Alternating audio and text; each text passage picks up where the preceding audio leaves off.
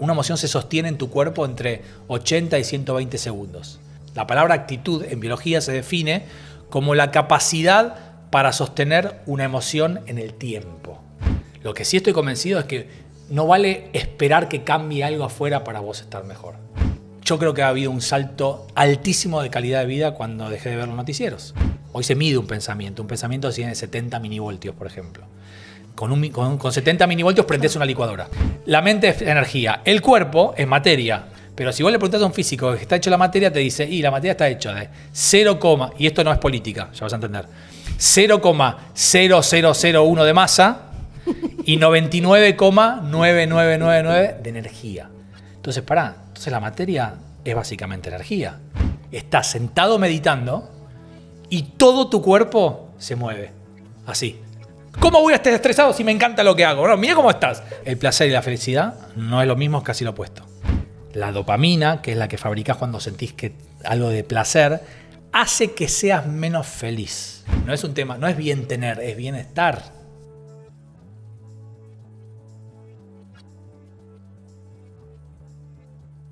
Bienvenidos a una nueva Border Session. Hoy vamos a hablar del cerebro, de las emociones y de la. Me pone cara como de, uy, qué garrón. No, no, no. me, me pensé, otro tema, pensé, pensé en Bizarrap Session. Faltaba la música. Pero no te gustó, entonces, porque es un nombre que se me ocurrió a mí. No, me encanta Border, me encanta la oveja negra, me encanta la cameraman, me encanta el chat de mami, estoy a full acá. ¿No te gusta Border Session, que es el nombre del programa? Sí, me parece muy piola, muy inteligente. Muy vos. Bueno, Estanislao es doctor en biología molecular de la UBA y de la Universidad de Montpellier. Estudió un máster en dirección de empresas en la Universidad Torcuato Di Tella, donde enseña creatividad e innovación, así como inteligencia emocional para líderes. Pero te quiero preguntar. Dale lo que quieras. Otra cosa. A ver, ¿dónde, ¿dónde nacen las emociones? ¿En la cabeza está, está de moda decir ahora? ¿En los pensamientos?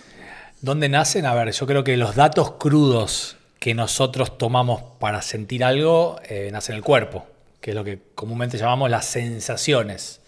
Hay sensaciones brutas, como un dolor de panza, y hay sensaciones muy sutiles, como una cosa que por ahí no logras registrar de manera consciente de que el intestino o el corazón un latido más, o que la piel un cosito, que la respiración tal Pero otra. Esto es nuevo, lo que me estás diciendo. ¿Nuevo para quién? Y no sé, nuevo para la ciencia, porque. No, no, no, a ver. ¿Es el cuerpo el que le dice al cerebro las emociones? claro, el cuerpo le manda al cerebro nueve, más, nueve veces más información que al revés, que el cerebro del cuerpo. Esa información llega a unas áreas del cerebro llamadas hoy interoceptivas, que, la definición es los sentidos internos. No solo sentimos con los ojos, eh, el gusto, el olfato, el oído, la piel, sino también tenemos sentidos adentro del cuerpo. Y el cerebro, para hacerlo fácil, ¿eh? interpreta esas sensaciones de dos maneras. ¿Cuánto placer sentís o displacer?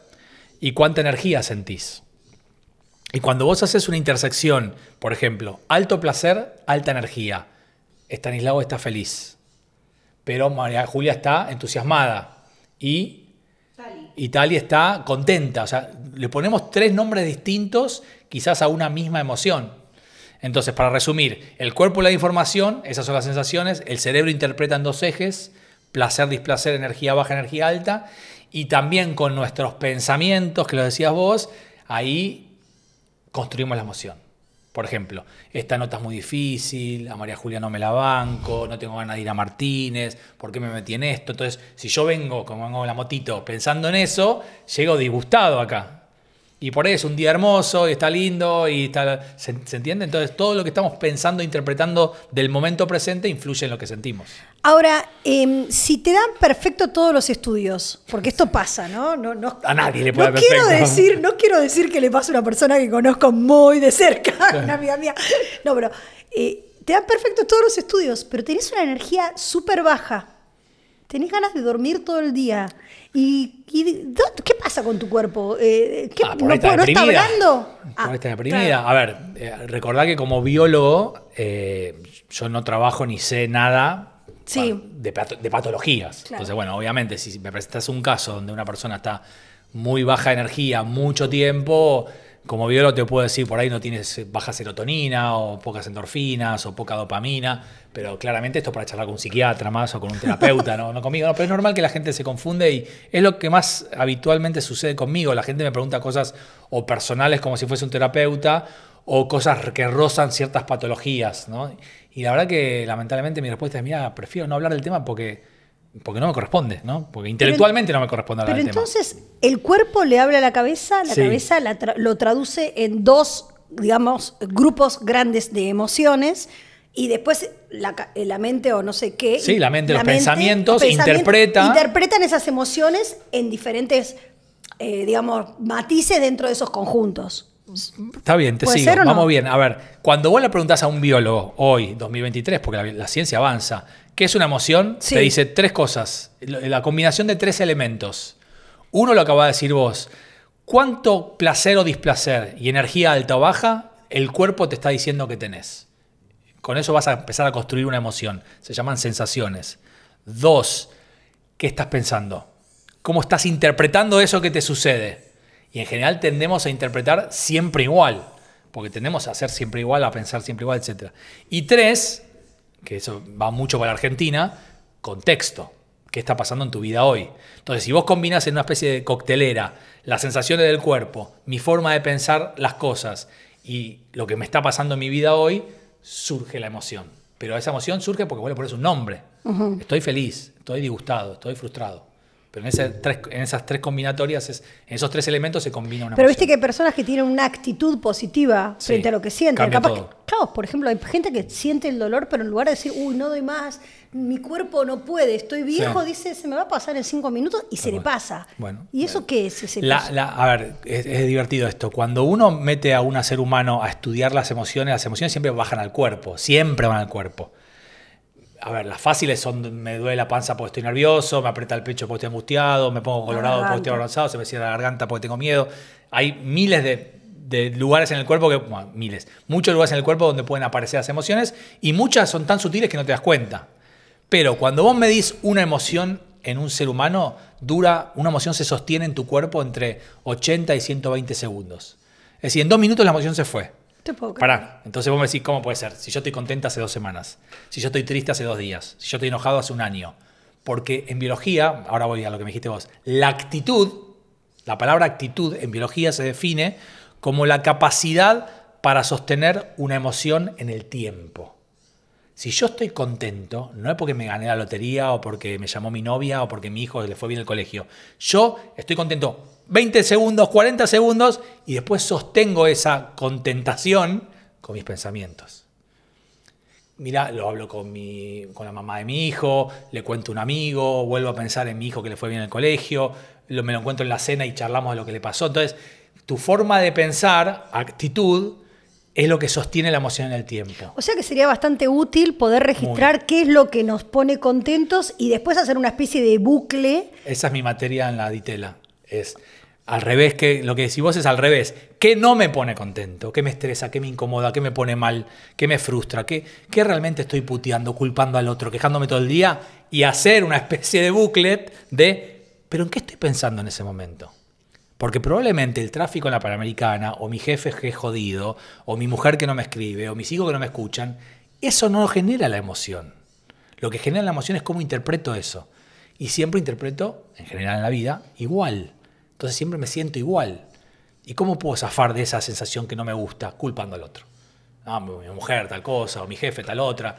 Y así vivimos toda la vida. Son patrones repetitivos Sí. de cómo nos ponemos frente a eso que nos pasa. Es decir, ¿Cómo interpretamos lo que nos pasa? claro, porque hay, hay personas que le puede pasar lo mismo que a vos, Ah. pero en lugar de decir, uy, loco, nadie me ve, nadie me reconoce, puede decir, yo soy un genio, pero el otro es un Sí. boludo. No sé, como, como Sí. distancia, tener distancia sobre la mirada del otro. Y la Eso ya es otra cosa. Ah, Eso es cuán importante es para ti lo que el otro piensa de vos. Me lo viste en español. Sí, ya sé, porque estamos en España. No saben, estamos acá en Madrid. Estamos inaugurando Border No, Madrid. por las dudas, sí, por las No. dudas. Eh, ¿Podemos hablar en español? ¿Neutro? Pero te, te ganó, hago tío, es que te ganó, pero de aquí a la China. No, no, no sé hacer acento. No sé- me ganas seguro. sabés Hagámoslo. hacer el acento? No, sé- hablo mucho de tú y de ti porque voy mucho a Uruguay. Me encanta, me encanta hablar. Ah. Y sobre Y todo. bueno, hablame de ti. Eh, a ver, de nuevo, lo que decís vos es así. Depende de cómo interpreto lo que me sucede hoy, ahora, en este momento. Yo siento algo. Me siento más cómodo, más incómodo, etc. Cuando vos empezás a darte cuenta, son las dos palabras más importantes de toda charla. Primero, me tengo que dar cuenta. Tengo que salir del, claro, registro o en mi cuerpo o en mi forma de pensar. Que cuando estoy en el tráfico, parado en la Panamericana y llego tarde a una reunión y me empiezo a dar cuenta que estoy pensando, otra vez voy a llegar tarde, pero soy un fracasado, ¿por qué no salí antes? Y encima me van a echar, voy a llegar tarde. Claro, con todos esos pensamientos, la tensión o la ansiedad que me genera el tráfico aumenta. Y cuanto más aumenta esa emoción, menos capacidad de pensamiento tengo. No tengo claridad para pensar. Entonces me pongo reactivo, me pongo impulsivo, le grito a mis chicos, toco la bocina, ¿se entiende? Sí. Entonces acá es lo que el que quiere hacerlo. Puedo dejar de culpar el tráfico, puedo dejar de responsabilizar siempre al otro de lo que me pasa a mí y empezar a cambiar mi forma de interpretar las cosas. Y genera muchísimo bienestar. ¿Sabes qué? Siempre que te escucho pienso, vos eh, ponés en práctica todo lo que decís porque sos un recopado entonces. o sea, sos un, un superhombre. No creo que mi ex mujer diga lo mismo que vos. Claro, ¿por qué se divorció si es tan macanudo? No, a ver. No, es un chiste, Soy- es un chiste. No, lo entiendo perfecto. Eh, pongo mucho en práctica y, la mejor manera de darme cuenta si me funciona o no. A ver, cuando yo escribo un libro, ahora vamos a hablar del último, si quieren, yo voy por cinco libros, siempre hago un proceso de, en paralelo de investigar. Nada de lo que yo cuento lo inventé yo. Yo divulgo lo que científicos del mundo encuentran o descubren. Y en paralelo hago un trabajo personal. A ver, esto me va a funcionar a mí. Este ejercicio que puse acá.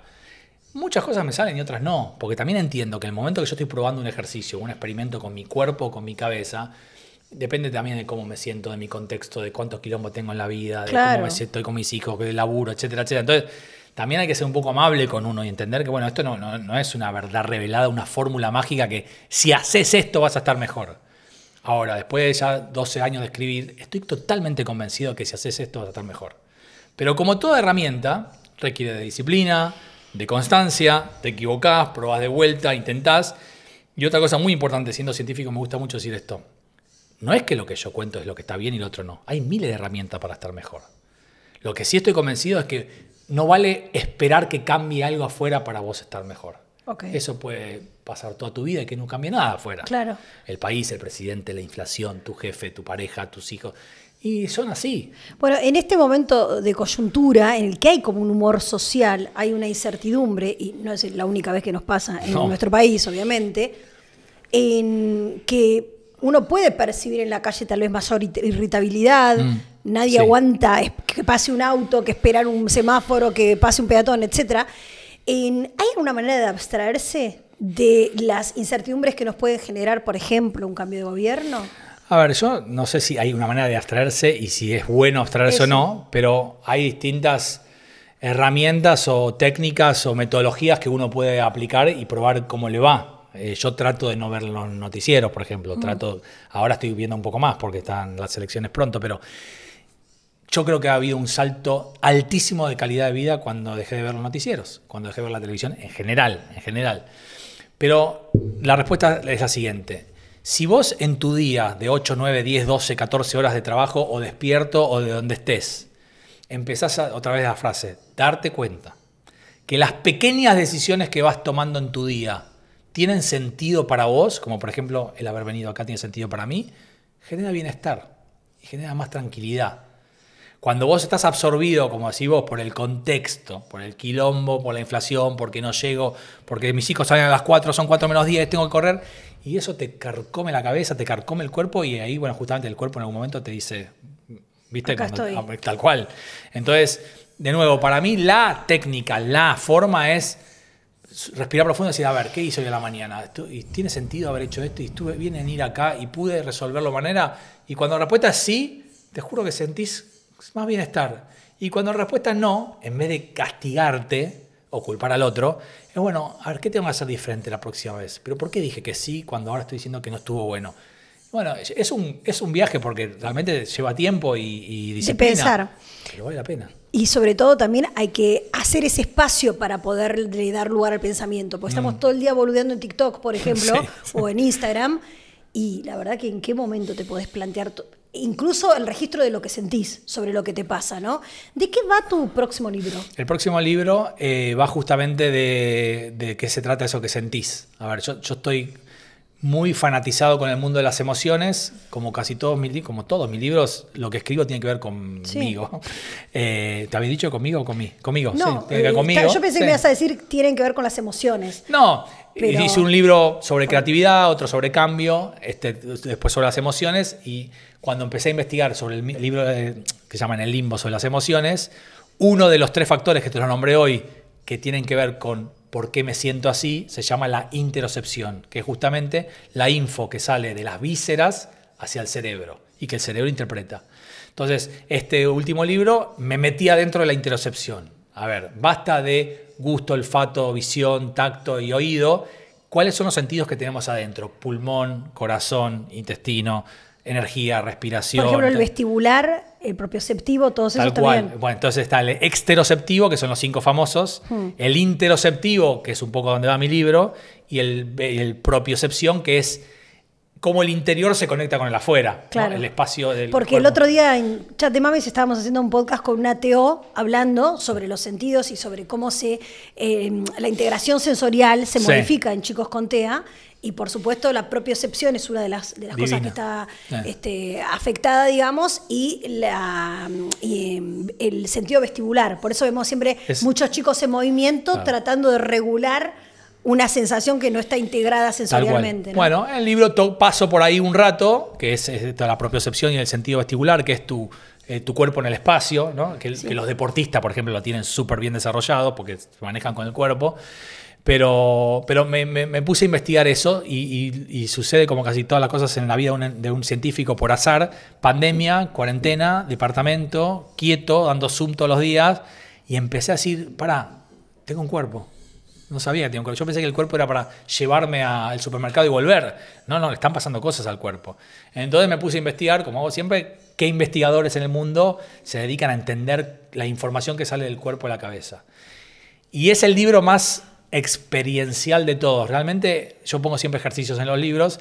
Este libro puedes leerlo y te puede, uy, qué cultura general, aprendes un montón del cuerpo, pero tenés que hacer los experimentos porque es realmente la experiencia de la experiencia. Tenés que, es un libro donde te, te Dame un ayuda a ejemplo de, sentir. de experimentos. A ver, voy a decir algo que ya está muy de moda. El, el eje central de todo el libro, que es una de las herramientas con más evidencias científicas del mundo, es la meditación. Todo el mundo ya habla de meditación, hay que meditar, mindfulness, mindfulness está de ¿Vos- moda. vos meditas? Sí, sí, obvio, hace muchos años y todos los días.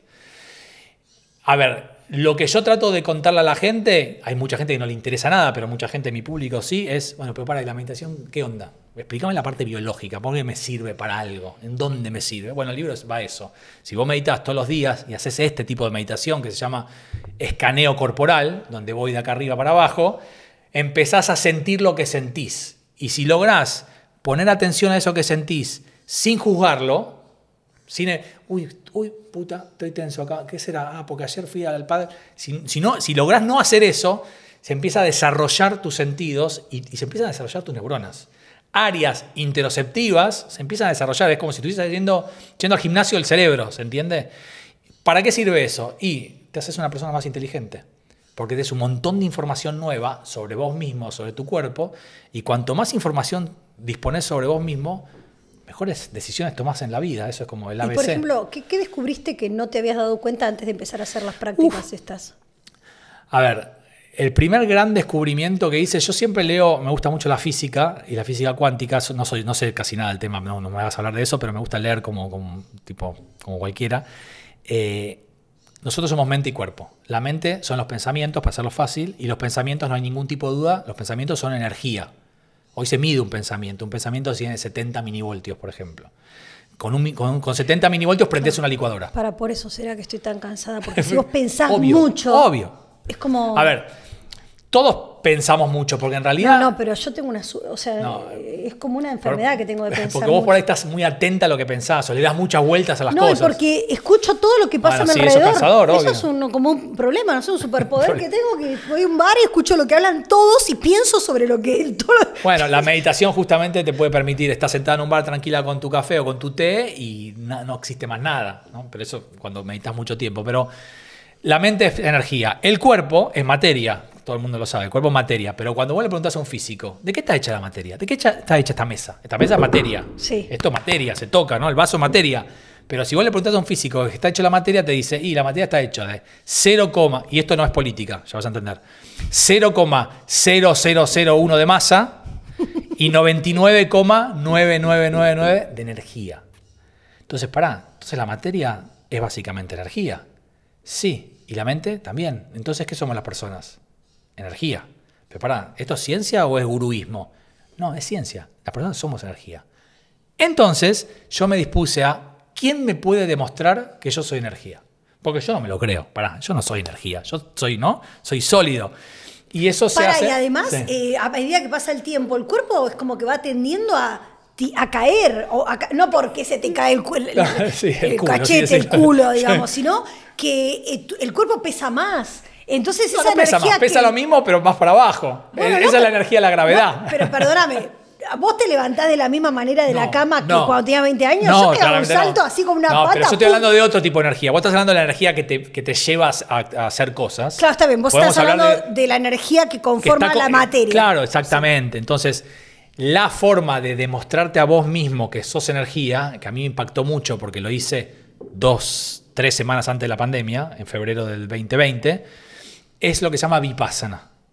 Vipassana es eh, la técnica de meditación creada por Buda hace 2500 años. Cuando vos lees el budismo, decimos que está bajo el árbol, el Buda tenía 29 años, dijo, "Bueno, ta, ta". Entonces, cuando vos te vas a formar en Vipassana, son 10 días que un instructor te enseña a meditar Vipassana. En esos 10 días meditas 12 horas por día. Exacto, esa es la cara que hay que poner. ¿no? Para, ¿y dónde lo hiciste? ¿Acá o Acá en Argentina hay dos lugares, aparte de esto es interesante, es gratis. Que es la gran diferencia con los gurúes. No, no estoy hablando mal de nadie, ¿no? Acá vos vas y es gratis. Tenés que anotarte, lista de espera, y si querés pagar algo cuando te vas, puedes pagar. Y tenés que disponer de 10 ¿cuán- días de 10 tu vida, días, donde no tenés ningún tipo de tecnología, estás aislado del mundo. y no podés dormir en tu casa ni nada, estás ahí. No, no, no, no. No, estás ahí, es un retiro. Ah. ¿Estás un retiro? ¿Y hay, y hay camas lindas? Sí, hay camas. Tipo Depende a dónde vayas. Yo, que soy más cheto, lo hice cerca de Los Ángeles. Ah, bueno, claro. Igual, qué lindo, boludo. Bueno, me dio un gusto.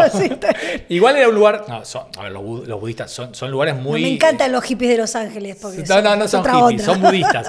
Era un lugar muy sobrio, un lugar muy. muy estaba Sí. muy limpio y muy bien, pero no era un hotel cuatro estrellas ni como, tres. eh, la comparación con el glamping de No era un California se entiende. con el glamping de Monte, ¿me entiendes?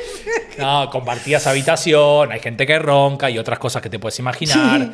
Eh, a ver, es un retiro de 10 días donde no puedes hablar con nadie, no te miras los ojos con nadie, estás vos metido con vos.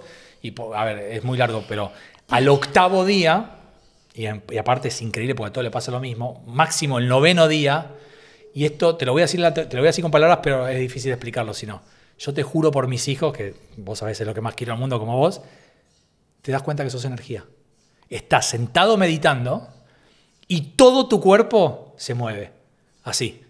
Así, todo, para, para adentro, para afuera, para acá, para acá, todo, todo, todo, todo pedacito de tu cuerpo está como en movimiento. Lo único que cambió es que todos los días vos te dedicaste a aprender el registro de, de lo que sale. 12 horas por día. Y el tipo, el instructor, pobre, te va llevando durante un día y medio, sin exagerarte, un día y medio, es decir, 24 horas, no, son 12, bueno, 20 horas, estás todo el tiempo prestando la atención a esta parte de tu cuerpo, donde sale el aire de la nariz, Sí. acá, estás, estás 20 horas acá y tienes que estar acá. Y vos decís, "Va, ya está. Bueno, después cuando llega el octavo día te das cuenta lo importante que fue No, ese si entrenamiento. haces esto, no podés dejar de respirar. Yo de- dejo de respirar un montón de tiempo, de- como de los nervios. Sí, sí, Respiro sucede. re poquito. ¿Pero ¿Entendés que vos estás así sentado 12 horas y el tipo te dice, vos está acá, fíjate acá cómo sale el aire, cómo entra el aire?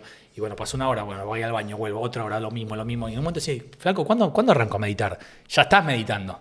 Pero bueno, todo ese camino que vas haciendo durante 8 o 9 días, en el, el octavo o noveno día, y no lo sentí durante 10 horas, durante microsegundos o segundos, vos estás sentadito así, como hace 10 días que estás sentado, y todo tu cuerpo se mueve. O sea, es, es raro explicarlo.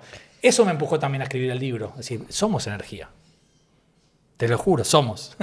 ¿Y de qué nos sirve saber eso? Yo creo que en el momento que empezás a, a captar y a distinguir, y como puse en el libro con ese sensar, que no es con Porque ese, el con nombre C. del libro es... con- El, el libro es sensorialmente con Z porque tiene una cosa de la filosofía zen que tiene que ver básicamente con esto que para qué sirve, de poder estar muy atento a algo, como yo estoy ahora con vos y vos conmigo, pero tranquilo. La calma atenta, que es algo que es raro en esta sociedad, ¿entendés? Cuando estamos atentos, en general estamos como corriendo, atento a ella, a vos, y está el pajarito acá sonando, ¿viste? Como recién hablaba, y me robarán la moto, no me robarán la moto, y ¿qué tengo que hacer a las 4? Entonces estoy como atento a muchas cosas, nunca estoy calmo. Claro. Pero cuando vos entrenás eso, puedes estar muy atento a tus hijos, a vos, después charlo con ella. Esa atención agua plena a una cosa y que esa con cosa... mucha tranquilidad. Es un montón. No, un claro, montón. porque tendrías... O sea, eh, ¿podés hacer menos cosas por día teóricamente o no? Yo creo que las, no, no haces menos cosas, lo que puedes hacer es con más calidad las cosas. ¿Cómo le decíamos, Tali, eso deep work? Cuando decíamos, tenemos que... O sea. Claro, nos queríamos, meterme muy adentro. claro, nos queríamos juntar solo un par de horas por semana, los que hacemos border, eso. para hacer determinada cosa y bueno, después cada uno desde su casa. Pero Es es entrenar la atención, pero en un estado de calma. Entonces, si vos sos deportista profesional, te sirve obviamente espectacular porque estás en tu deporte y te, te desconcentras menos.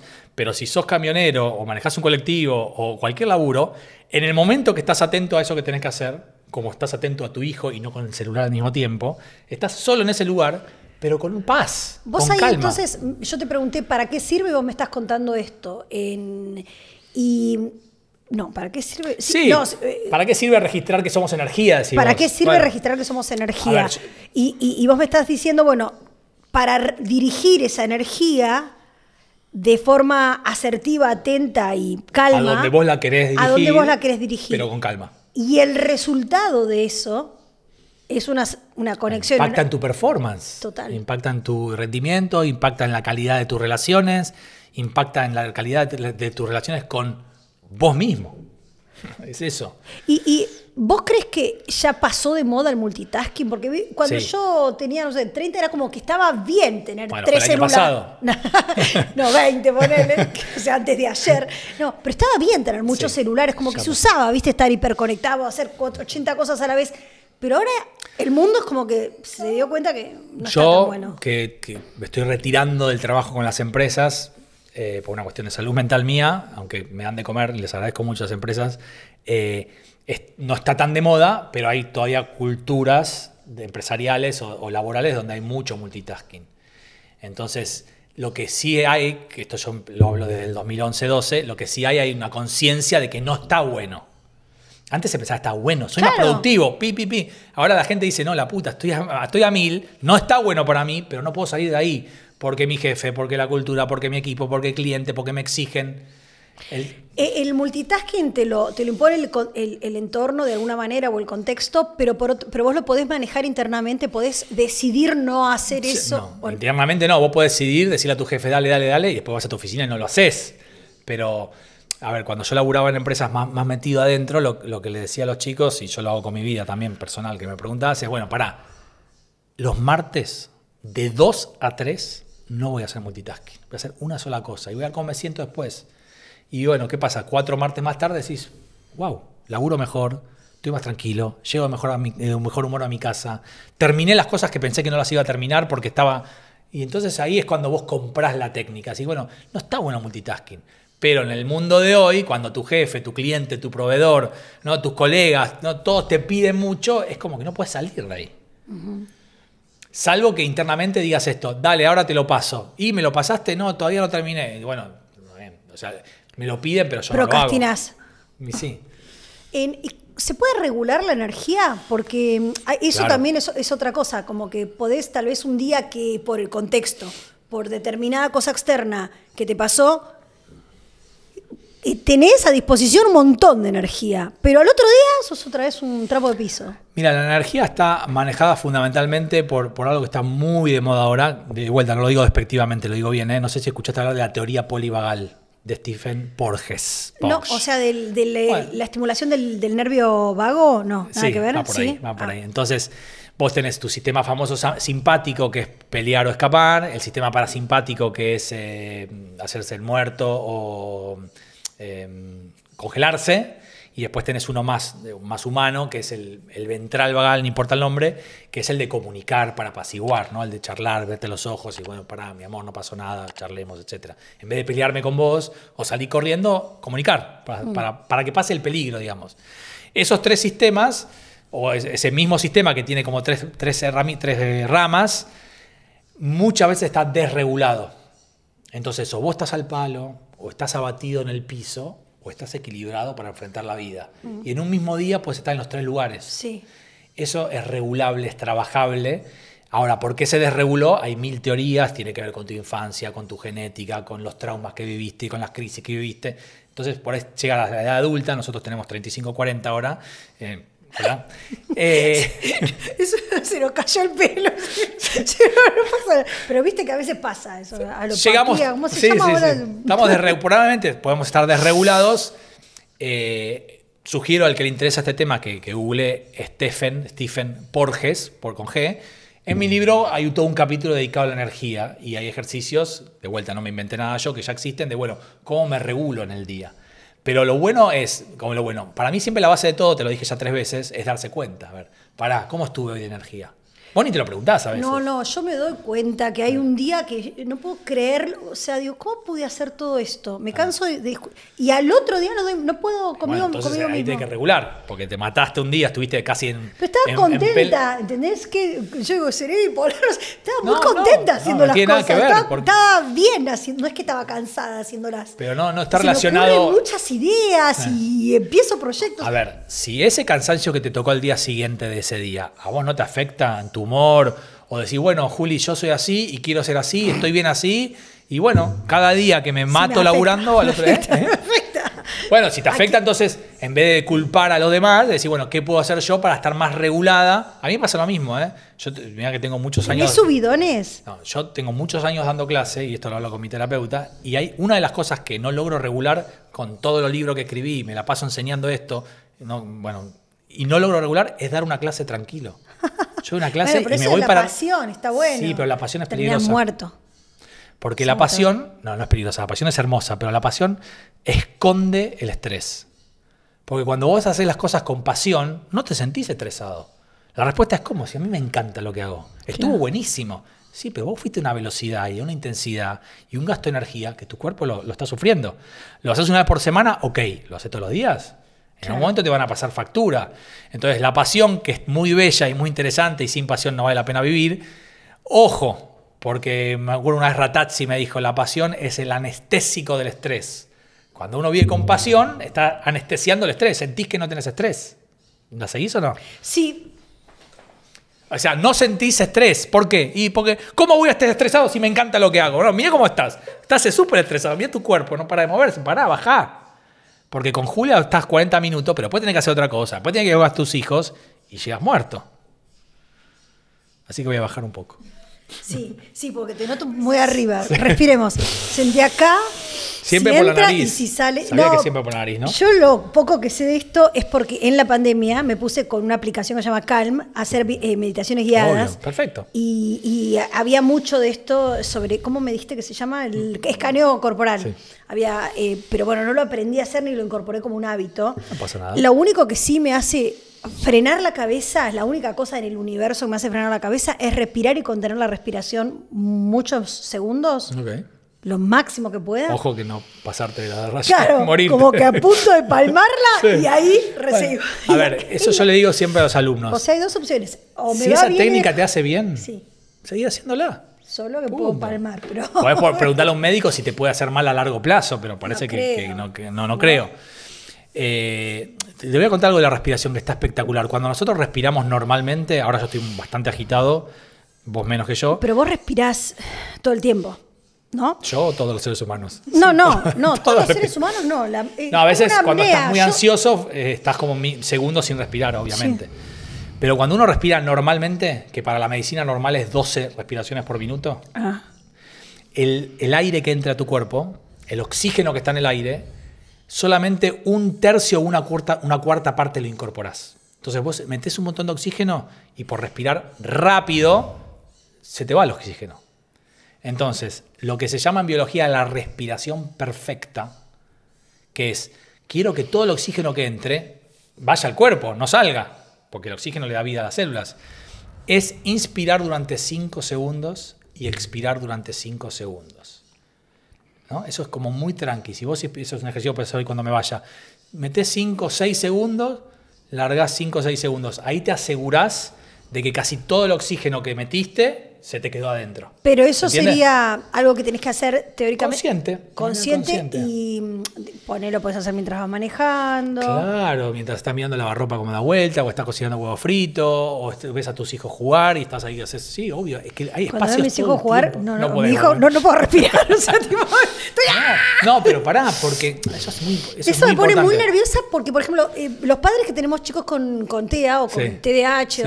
Estamos siempre con el cortisol arriba, vas a una plaza y te puede salir rajando el Sí, pie para entiendo, allá. para- o sea, es como todo el tiempo es una situación de, de quilombo, de que se te está por perder el nene en la plaza. Pero si en ese quilombo vos estás lo más tranquila posible adentro, no sé con los chicos de TEA porque no quiero meterme en un tema que no Sí. sé, pero el chico lo, se da cuenta. Sí. Tu estado. No Sí, sé, sí, totalmente. Entonces, cuando vos estás así, también estás generando tensión al otro. Sí. Como cuando estás discutiendo con tu pareja, digamos, es lo mismo. Entonces, si vos lográs hacer esas respiraciones o la técnica de relajación que quieras, y, y te vas a la. y vos decís, a ver, Julia, hoy voy a ir a la plaza. ¿Cómo se llama tu hijo? Antonio. Voy a ir con Antonio a la plaza y voy a intentar estar tranquila. Es verdad, tengo que estar con los ojos en todos lados, tengo que estar así porque se te puede ir, pero voy a estar tranquila interiormente y voy a ver qué pasa, ¿no? Como experimento. Y si eso lo haces un día, después tres días, después diez días, de repente va a venir tu marido, ¿cómo se llama? Ariel. Va a decir Ariel, Julia, ¿qué te pasa? Estás distinta. Porque Sí. en general el otro se da cuenta que vos estás distinto. Sí. ¿Se entiende? Sí. Em, estaba pensando, en- mientras, mientras hablabas, em, en cómo es, se transmite o no es, es- eh, eso que uno siente, ¿no? Y cómo eso influye a su vez en una especie de rulo, ¿no? De, de boomerang que, que se te devuelve. ¿Estás hablando del otro? ¿De otra persona al, al lado tuyo? De si vos estás de determinada manera, cómo influye eso en el otro, Mm, ¿no? mucho. Y, y por lo tanto, en qué mm, práctico que es, qué pragmático que es, qué útil que es, Mm, ¿no? En ese sí. sentido.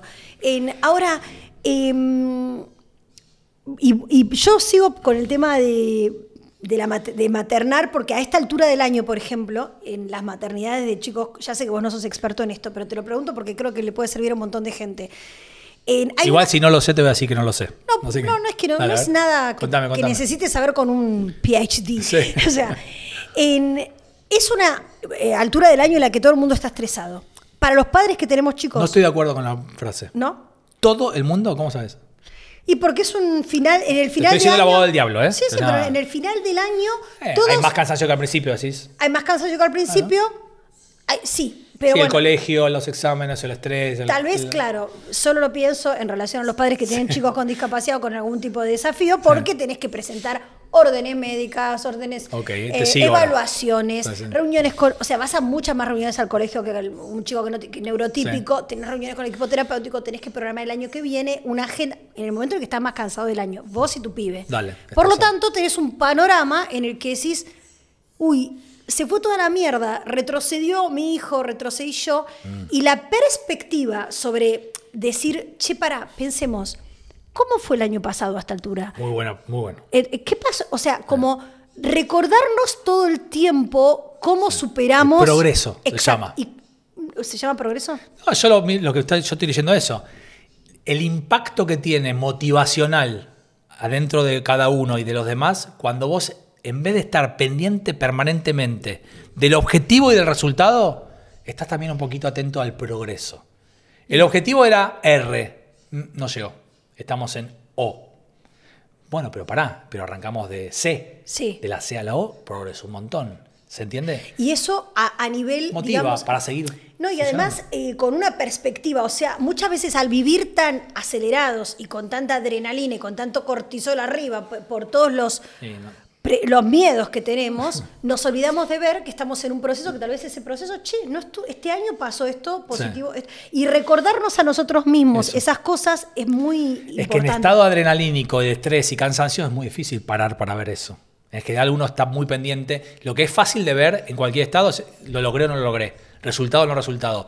Pero el progreso vos tenés que estar más tranquilo. Me pasa mucho en la ditela, ¿no? Vienen gente de empresas y me dicen, eh, queremos hacer un taller de autoconocimiento. Voy a la empresa y digo, pero esta gente está muy estresada. Es muy difícil aprender cuando estás estresado, tenga la edad que tengas. Sí. Entonces bajemos el estrés primero, porque le voy a dar un montón de información. Me encanta, gracias, está buenísimo. Pero en esos niveles de estrés y de, como decimos, de adrenalina y cortisol, la gente no, no lo va a disfrutar, no, lo va, no se va a llevar cosas. Entonces, para mí, para mí, no para es para mí, yo lo divulgo. El, el poder estar pendiente, atento, reconocer el progreso y el esfuerzo son clave, es clave, es clave en la vida de todos. Y no solamente de los resultados y los objetivos, porque a veces no lográs esos objetivos. Sí, o tal vez no se, no se ven en el momento que vos querés verlo. Sí, Ah. bueno, ya estoy podrido. A ver, Sí, a ver qué pasó. Sí. Mostrame los pasan- papeles. Y sí. capaz pasó, después no pasó, después, pero el año que viene van a estar. No se pierden esos Y otra cosa re linda que me gusta mucho sobre el aprendizaje. En general, los aprendizajes son mesetas sostenidas, vos no te das cuenta que estás aprendiendo y de repente, ¡pim!, le pegaste bien al drive. Y después se- seguís con tu drive un año igual, ¡pim!, mejoraste. Entonces, recordar que cuando yo estoy buscando mejorar, aprender, crecer, cambiar, en general he sostenido una meseta donde no veo nada y digo, uy, la puta, no, no estoy... Pero no, si seguís practicando, en un momento ves el piquito de...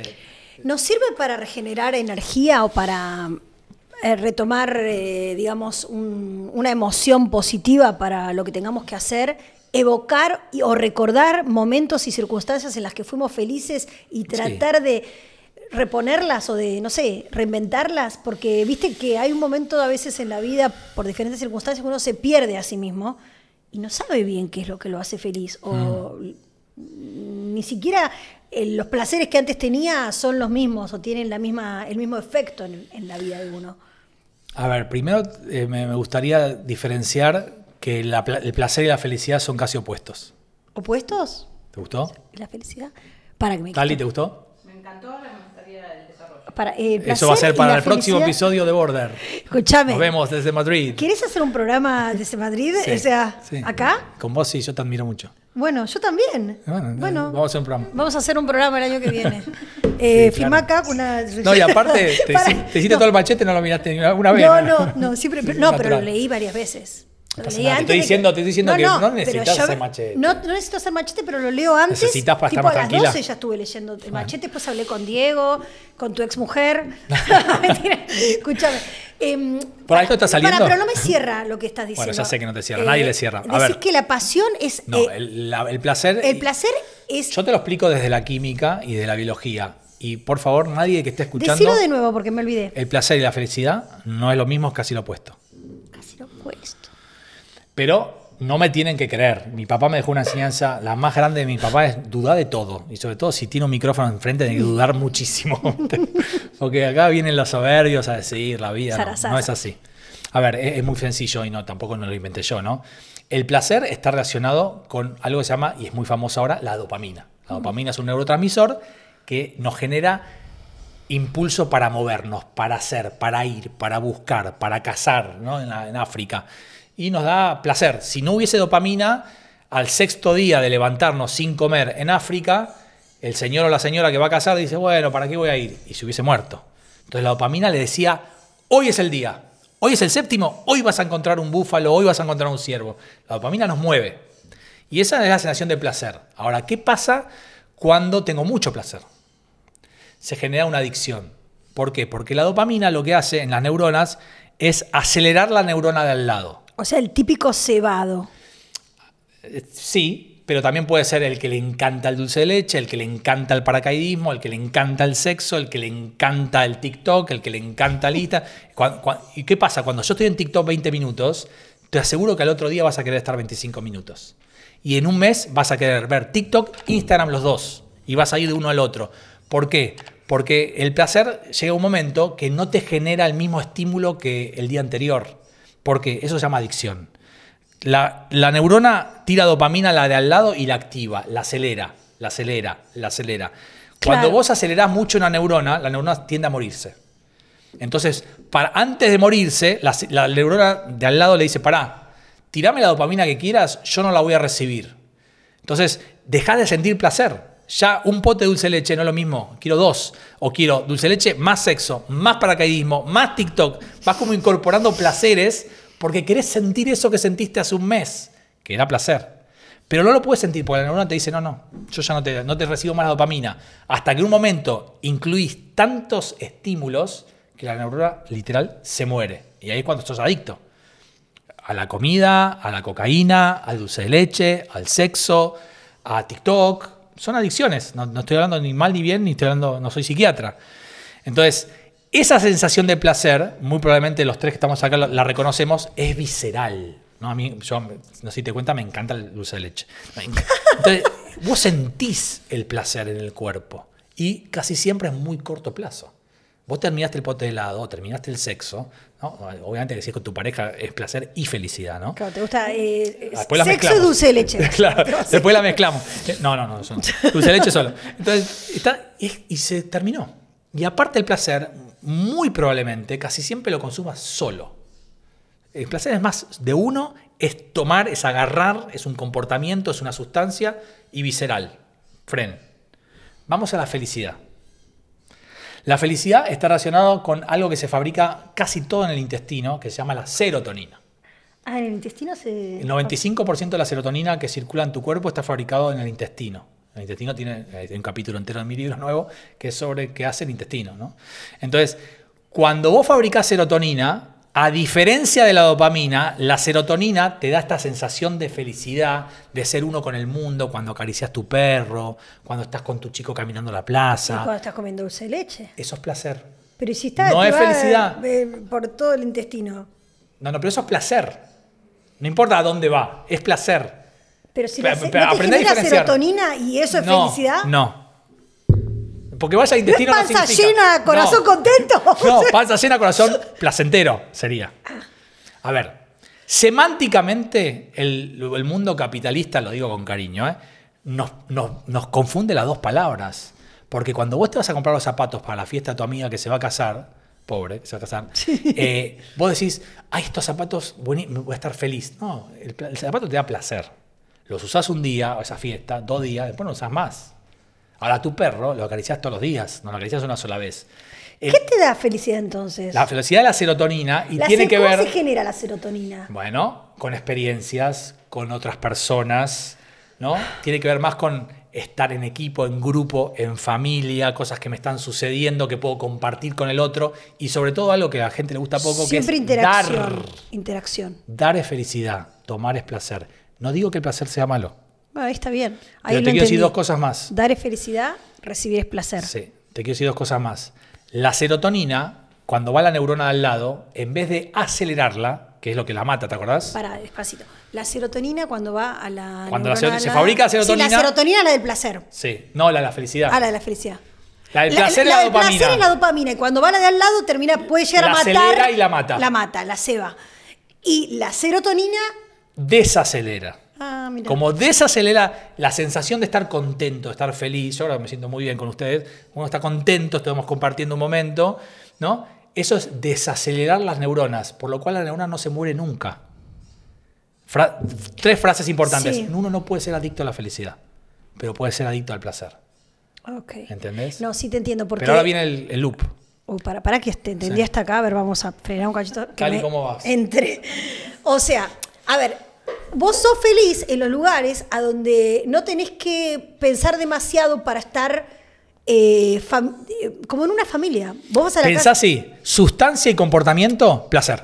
Claro, por ejemplo, pero si vos vas a un casamiento y tenés que ir empilchado con el taco, Sí. ver gente, qué como, Sí. qué no como, si me duele la pata, si me duele Sí. el vestido, a qué hora me voy, eh, es un montón de componentes que te pueden dar placer en un rato. Y también felicidad, porque vas con tu marido, porque se casa tu mejor amiga, porque vas a sí, encontrar es muy familiar. O sea, solo la, la- la cuestión que te, te gusta hace. bailar, te gusta estar con tus amigas, eso es felicidad. solamente la felicidad se puede lograr en ámbitos familiares. No, no, no. Vos ¿O puedes no? estar feliz solo meditando y estar tranquilo y en calma y eso te genera un estado de felicidad o de pero en, contentación. en el lugar, en algún lugar a donde no tengas que estar alerta. No, no, ¿por qué? Vos podés estar alerta jugando al tenis y, ser, y fabricar serotonina. A ver, porque vos podés sentir placer y felicidad al mismo tiempo. Ah. Sí podés. Acá, acá venía el- el- la cerrada del círculo. El tema es que cuanto más placer buscas y encontrás con dopamina, menos feliz sos. ¿Por qué? Porque químicamente la dopamina, que es la de placer, inhibe la fabricación de serotonina. La dopamina, que es la que fabricas cuando sentís que algo de placer, hace que seas menos feliz. Es muy Entonces, contraintuitivo. si no comes dulce de leche, no tenés sexo, eh, no tomas Yo no dije que no hay que sentir placer. Yo digo que la gente. ¿Sos que- feliz? ya, ¿entendés?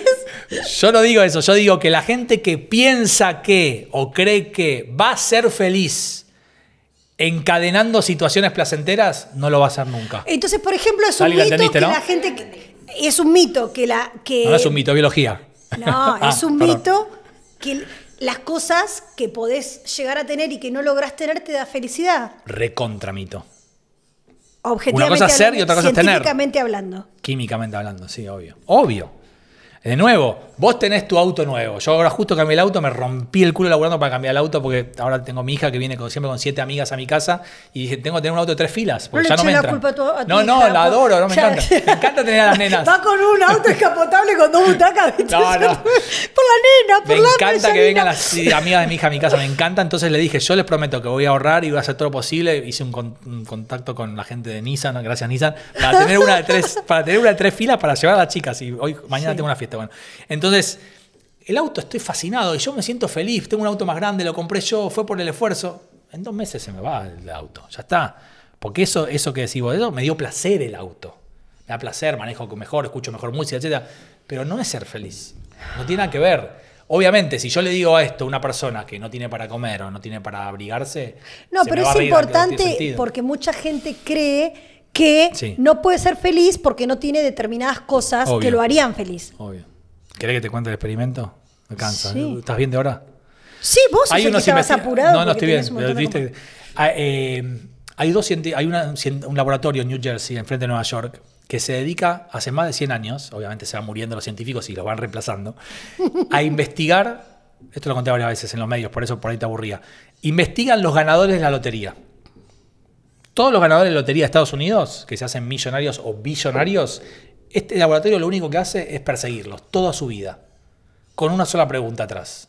¿Cuál es la pregunta que se hace? ¿Sos feliz? Exactamente. ¿Vos cuánto ganabas por año? 20 mil, 30 mil dólares por año. ¿Y ahora cuánto tenés? Tengo 200 millones de dólares. Tengo 2 mil millones de dólares. ¿Sos más feliz? ¿Cuál es la respuesta? No. No.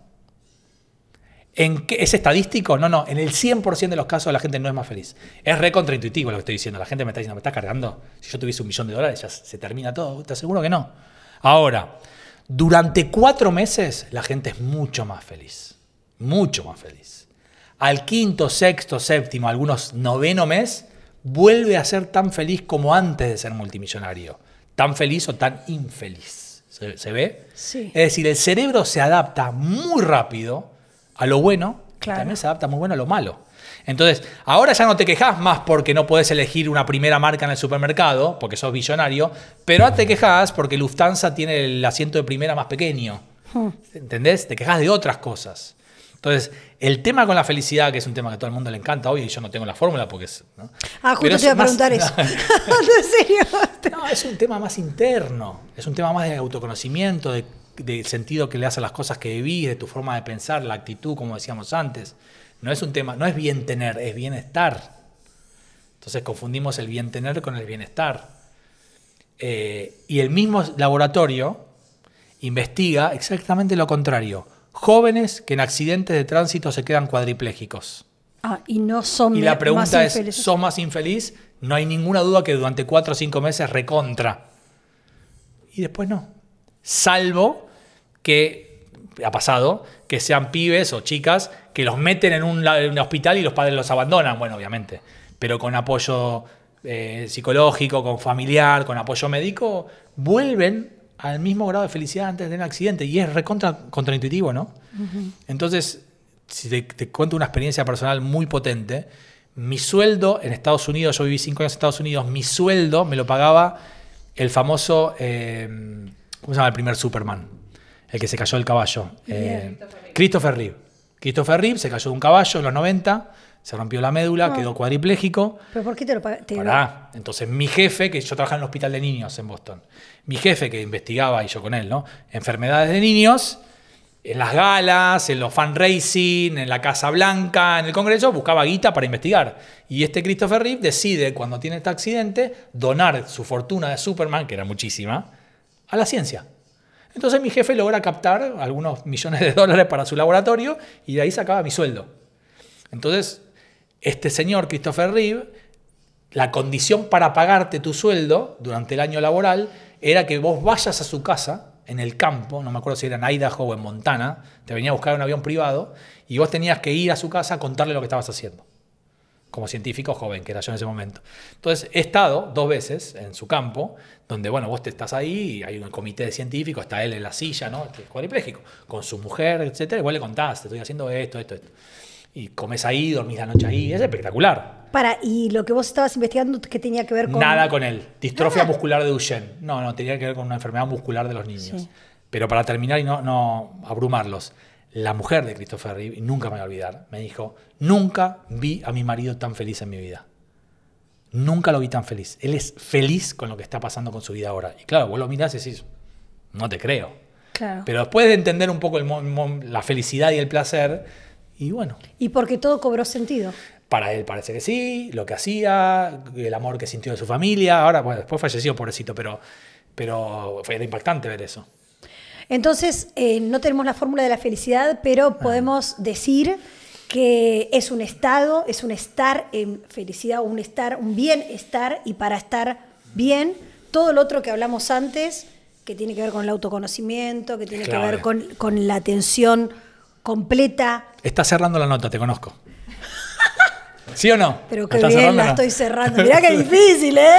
Y hablamos de muchas cosas. Porque aparte de pronto se me hacen A lagunas. ver, dale, cerrala, cerrala, a ver, dale. Y ahora me cagaste. o sea, tipo, que otro- No, digo, eh, la felicidad tiene que ver con el bienestar y con no con el bien tener. En el bienestar estuvimos charlando toda la primera parte de la nota.